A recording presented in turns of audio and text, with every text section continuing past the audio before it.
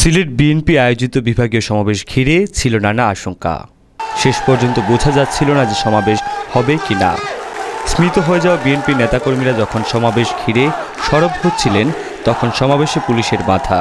মঞ্চ খুলে নিয়ে যাওয়া, ধরাও পাকার সহ বিএনপি পক্ষ থেকে নানা অভিযোগ ছিল।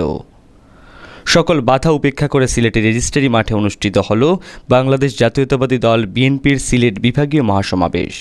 বেলা আড়াইটার দিকে জেলা বিএনপির সভাপতি আবুল কায়ের শামীমের সভাপতিত্বে শুরু হয় এই মহাসমাবেশ। বেলা একটা থেকে বিএনপি, যুবদল, স্বেচ্ছাসেবক দল ছাত্র দলসহ বিএনপির অঙ্গ সংগঠনের নেতাকর্মীরা মিছিল নিয়ে সমাবেশস্থলে আসা শুরু করেন। বিএনপি চেয়ারপারসন বেগম খালেদা জিয়ার মুক্তির দাবিতে আয়োজিত সমাবেশে সিলেট মহানগর, জেলা ও বিভাগের সকল নেতাই তাদের বক্তব্যে খালেদা জিয়ার মুক্তির দাবি জানান। আজকে বেগম খালেদা জিয়াকে জেলখানা রাখা হয়েছে। আজকে যে সরকার, এই সরকার জনগণের সরকার নয়।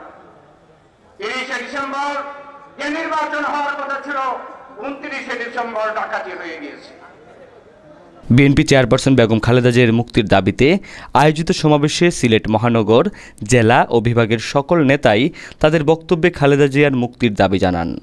এছাড়া তারেক রহমানের বিরুদ্ধে মামলা প্রত্যাহার ও নতুন নির্বাচনের দাবি তুলেন নেতারা। এছাড়া সিলেট বিএনপির নেতারা ইলিয়াস আলীর সন্ধানও কামনা করেন।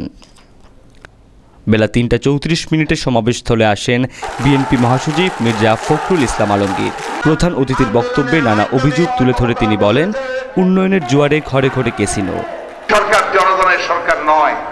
এরা জনবিরোধী সরকার। আমাদের অর্থনীতিকে ধ্বংস করেছে। আপনারা শুনেছেন আমাদের নেতৃবৃন্দের কাছে। এটা এখন ফোকরা একটা অর্থনীতি হচ্ছে খুব বড়াই করে বলে বাংলাদেশ নাকি এখন উন্নয়নের রোল মডেল এমন উন্নয়নের রোল মডেল যে ঘরে ঘরে এখন ক্যাসিনো আওয়ামী লীগের ঘরে ঘরে জুয়ার আসর, এই হচ্ছে এদের উন্নয়নের বন্ধুগণ, আওয়ামী লীগ যদি দেশের শাসন ব্যবস্থায় থাকে, তাহলে এই দেশ তার স্বাধীনতা রাখতে পারবে না।